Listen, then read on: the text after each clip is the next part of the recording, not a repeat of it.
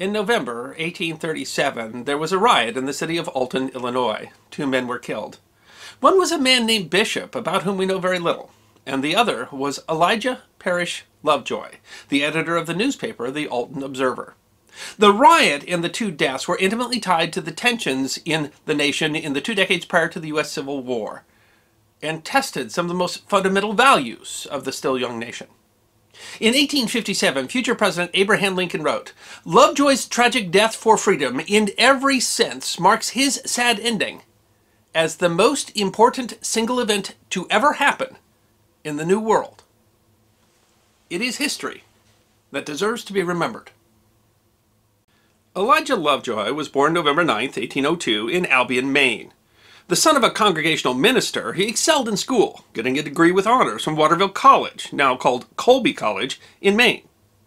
He eventually went west and by 1827 was teaching in the growing western city of St. Louis, Missouri. In 1830, he became part owner and editor of a newspaper called the St. Louis Times, a secular newspaper that supported Henry Clay, who was then Secretary of State for President. The United States was in the midst of a Protestant religious revival that historians call the Second Great Awakening. The movement drove reforms intended to remedy the evils of society before the anticipated second coming of Christ, and thus one of the underlying drivers of the movement was opposition to slavery. In 1832, Lovejoy, who despite a religious upbringing was not a religious man, or as one biographer described him was destitute of vital piety, though not a confirmed infidel, was converted and became a Presbyterian. He sold his interest in the newspaper and returned to the East, where he attended the Princeton Theological Seminary in New Jersey, and in April 1833 became an ordained minister. In November, he returned to St. Louis, this time as the editor of a religious newspaper, the St. Louis Observer. At the Observer, Lovejoy did not shy away from controversial topics. He earned enemies by opposing Catholicism in St. Louis and rallied against the evils of alcohol and gambling. But most controversially, he opposed slavery. In 1835, he wrote, it becomes us as a Christian people, as those who believe in the future retribution of a righteous providence, to remove from our midst an institution, no less the cause of moral corruption to the master than to the slave. At the time, Lovejoy was not an abolitionist. He was a colonizationalist. He supported a widely held belief that African slaves in America should be sent back to Africa in fact, he opposed abolitionist newspapers and the abolitionist movement, which he thought is dangerous to society. But then came the terrible events surrounding the death of Francis McIntosh. A free black man, McIntosh had been arrested in St. Louis, April 28, 1836, for the crime of breach of the peace, purportedly for failing to assist an officer in capturing a fugitive. When one of the two officers holding McIntosh told him he would likely be sent to prison for five years for the crime, he stabbed the two men, killing one and grievously injuring the other. He was caught and taken to jail, but shortly thereafter, a mob broke into the jail, dragged him to a tree, and burned him alive.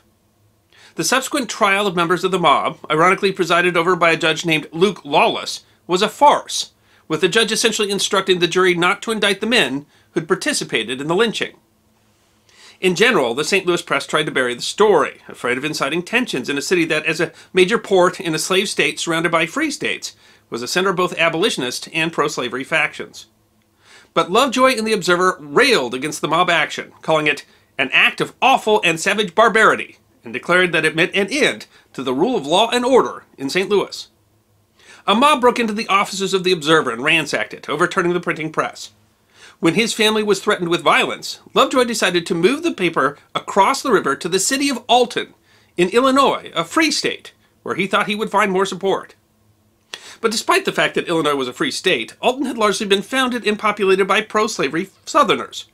As it was on the border between Missouri and Illinois, escaped slaves would often come through Alton, which disturbed town residents who did not want to become a haven for escaped slaves. And Alton had become something of a center for slave catchers trying to recover escaped slaves. Moreover, at the time, Alton was a growing city that was looking to rival St. Louis. But that depended upon Southern pro-slavery interests supporting them, as they were crucial to the river trade. Even as much as some of them opposed slavery, the leading men of the city could be said to be more interested in prosperity than in abolition. So Lovejoy's relocation was a matter of some consternation. A town meeting was called and Lovejoy was invited. He told the town leaders that he wasn't interested in publishing an abolitionist newspaper, he was there to publish a religious newspaper. But he made no guarantees that he wouldn't discuss abolitionist viewpoints, or any viewpoint for that matter.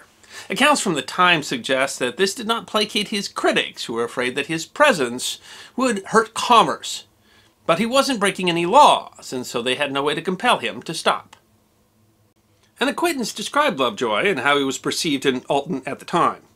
I knew Mr. Lovejoy intimately. He was my next door neighbor. And in all the relations of life, so far as I could judge, he was the most exemplary. He was a man of considerable erudition and of charming conversational powers, and with the exception of a few ruffians, had not a personal enemy in the city. On the contrary, individually he was almost universally admired and esteemed. Lovejoy's views, however, were the subject of even greater concern among Altonians after the panic of 1837. The financial crisis was caused by a number of factors speculative lending, a land bubble, a drop in cotton prices, and more restrictive lending policies beginning all the way away in London. The Panic of 1837 had wide ranging economic effects, but it was most devastating to the South due to the collapse of the cotton market. This caused a corresponding decrease in Mississippi River trade, thus impacting Alton. Reduced trade sparked greater fears that Lovejoy's publication would drive away business. Meanwhile, Lovejoy's abolitionist views slowly became more ardent, especially after befriending theologian Edward Beecher, the brother of Harriet Beecher Stowe, who had authored Uncle Tom's Cabin. With Beecher's assistance, Lovejoy had become involved in an effort to establish a state anti-slavery society, and his editorials started attacking pro-slavery citizens of Alton, if not by name, but with enough detail that it was clear who he meant. On July 20th, 1837, he wrote in The Observer, Abolitionists, therefore, hold American slavery to be a wrong, a legalized system of inconceivable justice, and a sin. In response, a mob broke into the Observer's office and destroyed the printing press. This actually engendered sympathy, and a fund was raised to replace the press. Observers noted that many who contributed opposed Lovejoy's views, but opposed mob violence more. His supporters at this point were more supporters of free speech than abolitionists, but the press was intercepted before it could be unloaded from a riverboat and thrown into the river. When it was clear that he intended to continue publishing, a group of leading citizens called another town meeting, taking Lovejoy to task for breaking what they claimed was a promise not to publish his abolitionist views. His defenders pointed out that he said that he had not intended to publish an abolitionist newspaper, but that he did not promise to not print abolitionist views. The town leaders were unswayed and voted for him to stop. He insisted that, despite most respectful feelings toward members of the committee, he did not recognize their authority to do so. He said, I believe that it is our duty and our high privilege to act and speak on all questions touching this great Commonwealth. It was a laudable position and supported by the First Amendment to the United States Constitution, but it only further enraged his enemies that he ignored the decision of the town leadership. His supporters armed themselves and even drilled under the state's Militia Act and raised the money for yet another press. They managed to sneak the press into town by having it delivered upriver and then brought back on a southbound boat, as those weren't being washed by Lovejoy's detractors. They intended to prevent this press from being destroyed like the others. The press was moved to a warehouse owned by Godfrey Gilman and Company, fronting on Water Street. It was described as a large and strong stone building, three stories high in front and two stories high in the rear, in the middle of a block with a vacant lot on either side. The night of November 7th, a mob, numbering at least in the hundreds, although some accounts claim that most were simply bystanders, came to the warehouse, intent on destroying the press. Lovejoy and about 20 supporters, including William S. Gilman, who owned the building, locked themselves inside. The mayor of Alton, John Krum, came and tried to urge the mob to disperse. When he failed, he went to the warehouse and tried to convince the defenders to give up the press, as that was what the mob wanted. Lovejoy's people refused, indicating their willingness to defend the press with their lives. Krum left, but the defenders insisted he authorize them to use whatever force needed to defend themselves. The Alton Observer described the start of the encounter. Mr. Gilman appeared at an upper window. What do you want here? he asked the crowd. The press, came the shouted reply. Gilman responded, We have no ill feelings towards any of you, and should much regret to do any injury. But we are authorized by the mayor to defend our property, and shall do so, with our lives. The mob tried to force their way in, but the building and doors were built very solidly. Finally, they resorted to throwing rocks, and then a shot was fired. The men in the warehouse responded with a volley of shots that killed a man named Bishop, whom some accounts claim was a violent member of the mob and who had promised to drive them out, and others claim was an innocent bystander and come to see what the fuss was about. In any case, both sides remained determined. By one account, the mob went to the nearby armory and acquired a cannon, only to find that they did not have the correct ammunition. Finally, the members of the mob decided to try to burn the building. A ladder was raised, and a boy with a torch was sent up to set fire to the roof. But Lovejoy and another volunteer had snuck out, and creeping in the shadows, had gotten close enough that when the ladder was raised, they were able to rush out and push it down before retreating back into the building. A second attempt was made, but as the two men came out again, this time shots rang out from behind a woodpile, and Lovejoy was shot. Some accounts say he was hit by multiple pistol shots, others say it was a shotgun blast.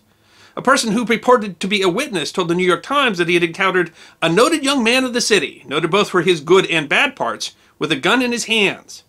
He said that Lovejoy was carrying a shotgun and that it misfired, and then the witness claims the young man beside me raised his gun, and before I could prevent him, fired and sent an ounce ball directly through Mr. Lovejoy's heart. Lovejoy made it back into the building, saying, My God, I am shot. He crawled to the second floor before expiring. With Lovejoy dead, his supporters quickly fled the building, and the mob entered and destroyed the press, leaving Lovejoy's body where it lay.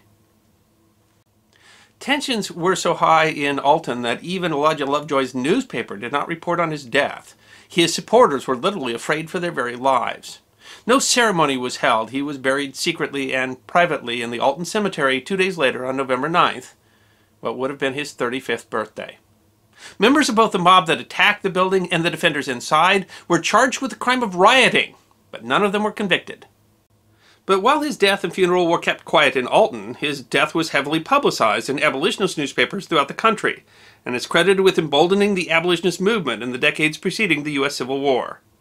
Notably, John Brown, who advocated armed insurrection to overthrow slavery and was later hanged for treason for inciting a slave revolt in 1859, was heavily influenced by Lovejoy's murder, publicly announcing after hearing the news, Here before God, in the presence of these witnesses, from this time I consecrate my life to the destruction of slavery. In 1838, a member of the Illinois legislature mentioned both the deaths of McIntosh and Lovejoy in a speech to the Young Men's Lyceum in Springfield, Illinois. The speech, which argued that slavery had resulted in mob action that threatened to undermine the Constitution, was published nationwide and raised to national status the previously little known politician who would become the nation's 16th president. Elijah Lovejoy is often described as an abolitionist, and as such he is sometimes described as the first casualty of the U.S. Civil War, which started 23 years after his death. But not only does that characterization essentially ignore all those other factors that were driving the nation to war at the time, but it also fundamentally mischaracterizes Elijah Parrish Lovejoy, who much more properly is described as a publisher than as an abolitionist. As a publisher, Lovejoy took on controversial topics long before he became an abolitionist. In fact, he only became an abolitionist relatively late in his publishing career. And many of the people that were standing with him in that building defending his press weren't abolitionists at all. Rather, the cause for which he and they were fighting was the cause of a free press as he tried to explain to the Alton town leaders who tried to silence him. He said, Gentlemen, as long as I am an American, as long as American blood runs through these veins, I shall hold myself at liberty to write, to speak, to publish on whatever I please, on any topic, being amenable to the laws of my country for the same. And thus Elijah Parrish Lovejoy is considered by many historians to be the United States' first martyr in the cause of a free and independent press. In 1897, 60 years after his death, the people of Alton erected a 110-foot monument to Lovejoy in the Alton Cemetery. The inscription on the monument reads, This monument commemorates the valor, devotion, and sacrifice of the noble defenders of the press, who in this city, on November 7, 1837, made the first armed resistance to the aggressions of the slave power in America. I hope you enjoyed this episode of The History Guy, short snippets of forgotten history between 10 and 15 minutes long. And if you did enjoy, please go ahead and click that thumbs up button. If you have any questions or comments or suggestions for future episodes, please write those in the comment section. I will be happy to personally respond. Be sure to follow The History Guy on Facebook, Instagram, Twitter, and check out our merchandise on teespring.com. And if you'd like more episodes on forgotten history, all you need to do is subscribe.